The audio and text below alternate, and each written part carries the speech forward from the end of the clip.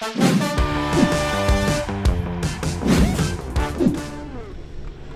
die ersten 20, 25 Minuten haben uns extrem schwer getan. Ähm, Alltag war auch ballsicher, hat, haben wir ein bisschen äh, Probleme gehabt mit, mit, dem Spielaufbau vom Gegner, auch was das Pressing betrifft. Ähm, aber haben wir dann besser gemacht und vor allen Dingen ist wichtig, dass man dann bis zum Schluss dran bleibt. Äh, haben dann nochmal eine gute Balleroberung gehabt, sind gut über den Flügel gekommen.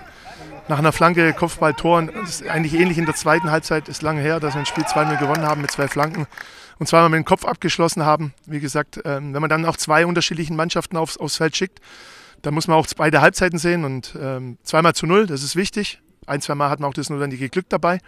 Aber ja, ähm, nochmal, wir sind jetzt seit einer Woche im Training, haben so viele Dinge auch verändert. Es braucht auch eine gewisse Zeit, bis dann der Rhythmus auch da ist.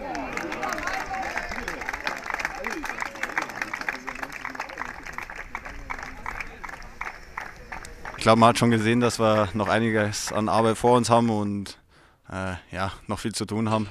Aber fürs erste Spiel äh, reinzukommen und äh, einfach auch wieder den Ball laufen zu lassen, es hat, hat Spaß gemacht und ja, jetzt freuen wir uns auf die nächsten Wochen.